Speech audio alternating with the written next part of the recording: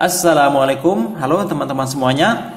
Transfer file menggunakan aplikasi ShareIt tidak hanya antar smartphone saja, tetapi juga bisa dilakukan dari smartphone ke perangkat komputer atau sebaliknya.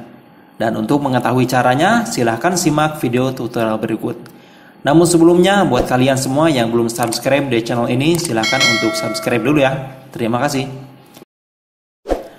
Langkah pertama, pastikan teman-teman sudah mendownload aplikasi ShareIt di HP atau juga yang di komputer. Untuk aplikasi ShareIt versi Android, teman-teman bisa mendownloadnya langsung di Play Store. Dan untuk versi komputer, silahkan download melalui link yang ada di deskripsi video saya ini.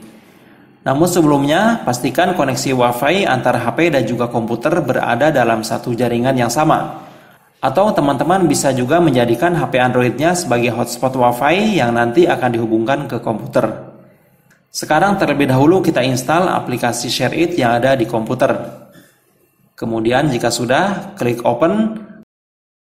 Kemudian pilih run untuk memulainya. Kemudian jika di sini meminta persetujuan, kita setujui saja ya. Selanjutnya pilih next. Kemudian next lagi dan oke, okay, sudah berhasil.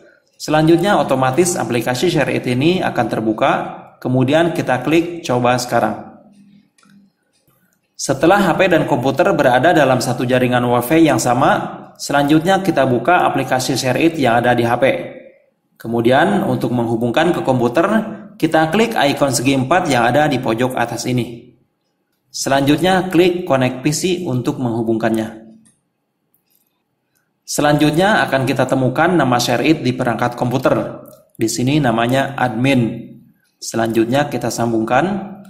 Setelah itu pada perangkat komputer, aplikasi ShareIt akan meminta persetujuan untuk terhubung. Selanjutnya kita pilih terima.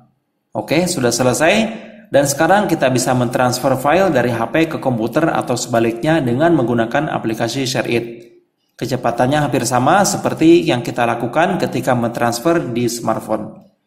Oke teman-teman, mungkin sekian saja untuk video tutorial pada kesempatan kali ini dan semoga bermanfaat. Terima kasih banyak saya ucapkan buat kalian semua yang sudah menonton video ini. Jangan lupa untuk subscribe, like, komen, dan membagikan video ini di media sosial kalian.